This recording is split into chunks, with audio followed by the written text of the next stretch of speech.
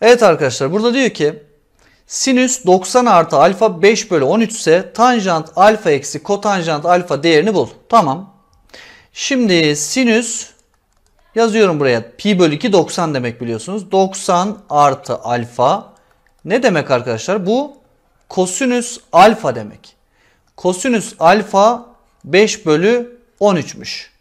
Ben hemen arkadaşlar şimdi kosinüs alfanın 5 bölü 13 olduğu bir dik üçgen çiziyorum. Bakın şurası alfa olsun.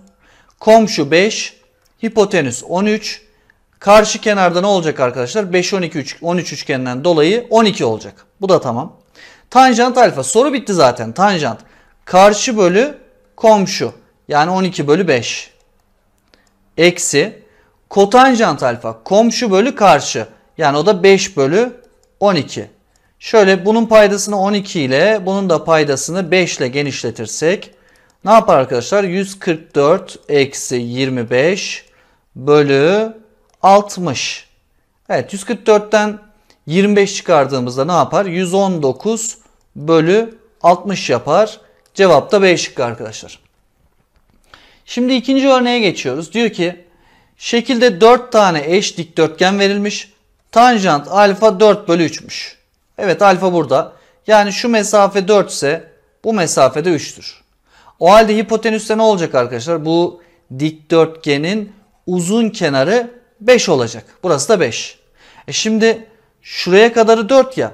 Buranın 5 olması için şu iki birimin yani ikisi de AA olsun. 2A'nın 1 olması lazım.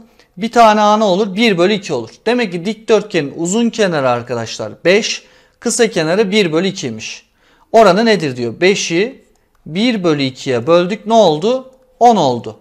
O halde cevabımız E şıkkı olur. Üçüncü örnekteyiz sevgili arkadaşlar. Verilen aralıkta cos x değeri nedir diyor. Şimdi bana verdiği bu eşitlikte ne yapmam lazım? İçler dışlar çarpımı. Yapıyorum. 4 çarpı 2'den 8 eşittir. Tanjant x eksi 1 çarpı tanjant x artı 1. Düzenlersek 8 eşittir. Tanjant kare x eksi 1 olur. Eksi 1 karşıya artı 1 diye geldi. 9 eşittir tanjant kare x. Pi 3 bölü 2, 3 pi bölü 2 aralığında tanjant pozitiftir arkadaşlar. Dolayısıyla tanjant x'imiz ne olacak? 3 olacak. Hemen bir dik üçgen çizdim. Burada x açısı tanjant x karşı bölü komşu 3 bölü 1 yani 3. O halde hipotenüs ne olur? 9 artı 1'den kök 10 olur. Şimdi bizden ne istiyor? Cos x yani komşu bölü hipotenüs. Yani 1 bölü kök 10'u istiyor. Ama şimdi bu aralıkta kosinüsün işareti ne arkadaşlar? Eksi. Dolayısıyla bunun işareti ne olacak? Eksi olacak. Eksi 1 bölü kök 10'dur. Bu sorunun da cevabı sevgili arkadaşlar. Şimdi devam ediyoruz arkadaşlar. Bu sorudan sonra dördüncü örneğimiz testimizdeki ÖSYM tarzı sorularda dördüncü örneğimiz dördüncü sorumuz. 2a artı b'nin alabileceği en büyük ve en küçük değerin toplamı. Şimdi 2a yani burayı 2 ile çarpacağız. 2a ne olur arkadaşlar? 4 sinüs x eksi 2 olur. Bunun aralığını bulalım. Biliyorsunuz eksi 1 küçük eşittir sinüs x. O da küçük eşit 1 olur. Her yeri 4 ile genişlettim. Eksi 4 küçük eşittir 4 sinüs x. O da küçük eşit 4. Her yerden 2 çıkardım. Eksi 6 4 sinüs x eksi 2 küçük eşit 2. Demek ki 2a'nın aralığı buymuş arkadaşlar. Şimdi b'ye bakalım. 3 cos y artı 1. Biliyorsun eksi 1 küçük eşittir kosinüs y küçük eşit 1. Her yeri arkadaşlar 3 ile çarptım. Eksi 3 küçük eşittir 3 cos y. O da küçük eşit 3. Her yere 1 ekledim son durumda. Eksi 2 küçük eşittir 3 cos y artı 1. O da küçük eşit 4. Evet B'yi de bulduk. 2A'yı da bulduk. Bunları ne yapıyoruz? Topluyoruz. Bakın. Eksi 2. Eksi 6 daha ne oldu arkadaşlar? Eksi 8. Küçük eşittir. 2A artı B. O da küçük eşittir. Burada ne var? 4. Aşağıda da 2 var. 4 artı 2'den 6. Evet aralık eksi 8 ile 6'ymış. O halde arkadaşlar alabileceğimiz en büyük değerimiz ne olacak? 6. Alınabilecek en küçük değerimiz ne olacak bu durumda? Eksi 8. Bunları topla diyor. Topladım hemen ne buldum? Eksi 2 cevabını buldum. Beşinci örneğe geçtik arkadaşlar. Evet diyor ki şekil 9 eş kareden oluşmuştur. Alfa ve beta açıları için tanjant alfa ve tanjant beta'nın çarpımı nedir? Tamam. Bakın şuraları tamamlayayım ben şöyle. Dikdörtgen kutucukları daha doğrusu kareleri tamamlayayım. Bakın şimdi tanjant alfa. Karşısında kaç tane kare var?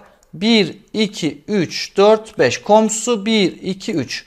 O halde yazdım tanjant alfa eşittir 5 bölü 3. Bu bir kenarda dursun. Geldik tanjant beta'ya bakın. Karşısında 3 tane 1, 2, 3 tane çubuk var. Komşusunda da 2 tane var. O zaman tanjant beta'da ne olacak arkadaşlar? 3 bölü 2 olacak. Bunları çarp diyor. Yani 5 bölü 3 ile 3 bölü 2'yi çarptım.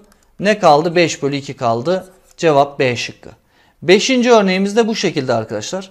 Şimdi devamında altıncı örneğimize geçelim hemen. Bakalım onun çözümü nasıl. Evet 1 artı tanjant 7 pi eksi x. Arkadaşlar pi'nin tek kuvvetlerinde tek katlarında o katı esas ölçü bulurken silebiliyoruz. Bunu önceki çözümlerde yapmıştık. Bakın bunu sildim. Ne oldu burası? 1 artı tanjant pi eksi x oldu. Şimdi aşağı taraf 19 pi bölü 2'nin esas ölçüsünü bulalım. Yani 19 pi'yi paydanın 2 katı olan 4'e bölelim. 4 pi kadar var. Ne yaptı burası? 16 pi. Çıkardım 3 pi. Bunun altına ne yazacağız arkadaşlar? Paydayı. Yani paydada 2 vardı. 3 pi bölü 2. Demek ki 19 pi bölü yazmak yerine 3 pi bölü 2 yazmamız lazımmış. 1 eksi tanjant 3 pi bölü 2 eksi x. Şimdi arkadaşlar tanjant 180 öncesinde eksi işaretlidir. Adı değişmez. Yine tanjant x olur. Bölü 1 eksi. Tanjant 270 öncesinde artı işaretlidir. Adını da kotanjant yapar. Yani bu da kotanjant x oldu. Şimdi biz arkadaşlar 1 eksi tanjantın yerine sin bölü kos. 1 eksi kotanjantın yerine de kos bölü sin yazalım. Paydaları düzenleyelim arkadaşlar. Burası ne oldu? Kos eksi sin bölü kos. Kos eksi sin bölü kos. Aşağı ne oldu? Sin eksi kos bölü sin. Sin eksi kos bölü sin. Ters çevirip çarpalım. Kos eksi sin bölü kos çarpı. Sin eksi kos yazmak yerine ifadenin başına eksi yazıp şöyle yazacağım arkadaşlar. Sinüs bölü kos eksi sin yazacağım. Yani yer değiştirdim öne eksi attım. Bunlar birbirini sadeleştirince ne kaldı? Eksi sin bölü kos. Bu da ne demektir arkadaşlar? Eksi tanjant x demektir. Demek ki cevabımız eksi tanjant x olarak bulunuyormuş. Şimdi yedinci örneğe geçiyorum sevgili arkadaşlar burada. Şu şekilde ilerleyeyim. 7'de diyor ki dik koordinat düzleminde evet yaylar verilmiş. Evet burada bir birim yayın uzunluğu ne kadar oluyor arkadaşlar? Bakın 1, 2, 3, 4, 5, 6 parçaya bölünmüş 180. 180 bölü 6'dan bir birim yay 30 derecelik açıya sahipmiş arkadaşlar. Ne diyor? Sin AOC. Bakın AOC şuradan bahsediyor. Bu ne kadarlık bir yay? İki tane çizgi olduğu için 60 derece yapar. Burası 60 derece. Sin 60 yani. Sinüs 60. Bu da ne demektir? Kök 3 bölü 2 demektir. Buna diyor cos AOF'yi eklersek. AOF şurası. Şimdi buranın tamamı kaç derece oldu arkadaşlar? 1, 2, 3, 4, 5. 5 çarpı 30'dan 150. Yani kosinüs 150 diyor arkadaşlar. Bu da nedir? Eksi kök 3 bölü 2'dir. Bunları toplarsan diyor 0 olur. Doğru söylüyor. Evet 2'ye geçtik. Tanjant AOB. AOB şurası yani. Şurası arkadaşlar. Burası kaç derece? Bir yay olduğu için 30 derece. Tanjant 30. Ne demektir? 1 bölü kök 3 demektir. Kotanjant AOC'ymiş. Karışıklık olmasın diye ben şu ifadeleri bir sileyim arkadaşlar isterseniz. Şöyle şuraları bir silelim. Karışmasın birbirine. Evet. Şimdi arkadaşlar ne diyor? Kotanjant AOC. AOC. Şurasının kotanjantını istiyor arkadaşlar. İki iç yay taradığı için 60 derece. Kotanjant 60 nedir arkadaşlar? O da 1 bölü kök 3'tür. Bunlar birbirine eşitmiş öyle mi? Evet eşit. 3 numara EC uzunluğu. Bakın şimdi EC uzunluğunu bulalım. Şurası yani. Bakın şöyle birleştirdim. Evet merkezle birleştirdim. Yarı çap 1. 1 1. E burada 30 derece, burada 30 derece ne oldu? 60 derece oldu. E burada ikizkenar olduğuna göre bunlar da 60'ar derece olacak. Demek ki EC uzunluğu ne olacak arkadaşlar? 1 birim olacak. Aynı şekilde arkadaşlar ne diyor? E, BD uzunluğu. E, BD'nin de bundan farkı yok. O da aynı arkadaşlar. O da 1 birim olacak. Yani bu 2 oldu. Bu neye eşitmiş? 2 tane sinüs BOE. Bakalım neresiymiş? Silgiyle şuraları bir silelim. O sinüs BOE'yi bulmaya çalışalım arkadaşlar. Nereyi kastettiğine bakalım sinüs BOE'de. Şimdi B burada O ile birleştirdim. ve E'yi birleştirdim arkadaşlar. B, O, E. Evet. Burası 60 derece tarıyor. İki tane yay var. Burası da 30 derece tarıyor. Yani şurası 90 dereceymiş. Sinüs 90 ne? 1. 2 çarpı 1'den. Evet 2 2'ye eşit. Doğru. 3 de doğruymuş arkadaşlar. O halde bu soruda da cevabımız ne olacak? E şıkkı olacak arkadaşlar. Hemen şöyle alalım. E şıkkını da işaretleyelim. Evet E şıkkını işaretleyelim. Ve devam edelim arkadaşlar. Bu sorunun cevabı da bu şekilde. 8. örneğimiz. fx'i vermiş arkadaşlar. Bize ne diyor? Sana bir formül verdim diyor. Evet fx x çarpı x artı 1 diyor. f cos alfa. Ne demektir? Cos alfa çarpı cos alfa artı 1. Buna diyor f sin alfayı ekle. Yani sin alfa çarpı sin alfa artı 1'i ekle. Bu 3 bölü 2 ediyormuş. Bunları toplarsak dağıtalım bakın. Cos kare alfa artı cos alfa. Şunu dağıttığımızda sin kare alfa artı sin alfa. Burası 3 bölü 2'ymiş. Cos kare alfa artı sin kare alfa 1'dir. 1 artı cos alfa artı sin alfa 3 bölü 2'ymiş. 1'i karşıya attım. Cos alfa artı sin alfa ne oldu arkadaşlar? 1 bölü 2 oldu. Her yerin karesini aldım. Cos kare alfa artı sin kare alfa artı 2 tane sin alfa cos alfa 1 bölü 4 olur. Biliyorsun şurası 1 yaptı. Bu 1'i karşıya gönderdim. 2 tane sin alfa cos alfa ne oldu? 1 bölü 4 eksi 1 oldu. 1 bölü 4'ten 1'i çıkarınca eksi 3 bölü 4 kalır. Her yeri 2'ye bölünce sin alfa cos alfa ne oldu? Eksi 3 bölü 8 olmuş oldu arkadaşlar. Cevap demek ki A şıkkıymış bu soruda. Evet 9. örneğimizdeyiz. Diyor ki bunun en sade hali nedir? Bakın şurayı ne yapalım? Çarp, topla ve böl yapalım. Yani payımız ne oldu? 2 cos kare alfa artı sin kare alfa artı şimdi 1 ile 2 sin kare alfa cos kare alfayı çarptım. Ne oldu? 2 sin kare alfa artı cos kare alfa bölü 2 sin kare alfa cos kare alfa. Onu da şöyle yazalım. Sin kare alfa artı sin kare alfa artı cos kare alfa. Burası böyle çarpı 1 artı sin kare alfaymış. Şimdi bak 2 cos kare alfa 2 sin kare alfa daha 2 yaptı. Sin kare alfa sin cos kare alfa daha 1 yaptı toplayınca 3. Bölü. Şimdi sin kare ile cos kare 1 yaptı. 1 artı sin kare alfa çarpı burası da 1 artı sin kare alfa. Bunlar karşılıklı birbirini sadeleştirince ne kaldı arkadaşlar? 3 kaldı. Demek ki bu sorunun cevabı 3'e eşit oluyormuş. Evet şimdi geldik arkadaşlar 10. örneğimize.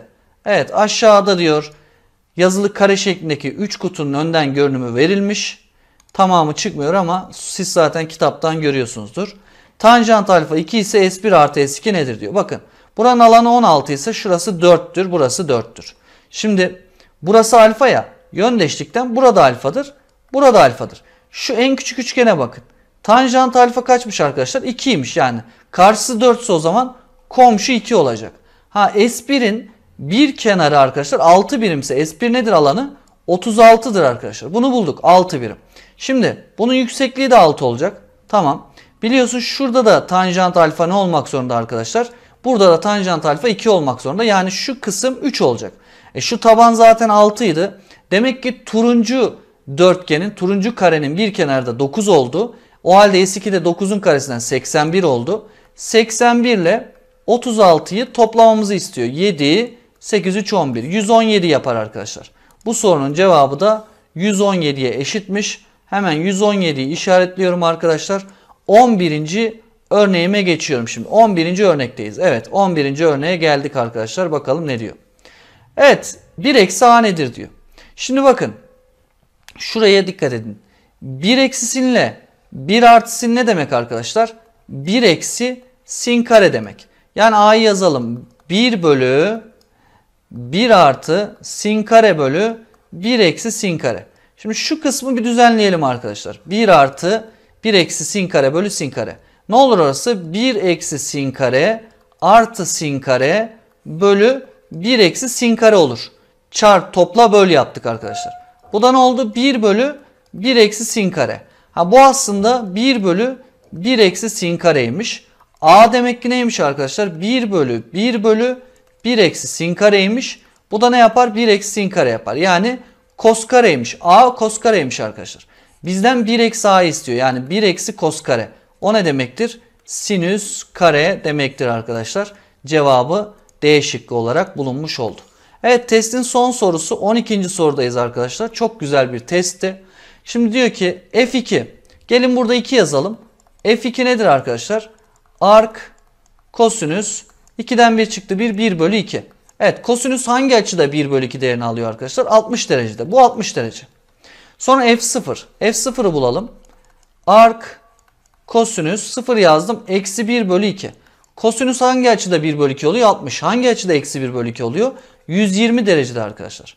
Bir de f eksi 1'i bulalım. O da lazım. f eksi 1 ark kosinüs eksi 1'den eksi 1 çıktı. Eksi 2 yarısı eksi 1. Kosinüs ne zaman eksi 1 oluyor arkadaşlar? 180 derecede. Yukarıdakilerini toplayacakmışız. Yani 60 ile 120'yi toplayacakmışız. 180'e bölecekmişiz.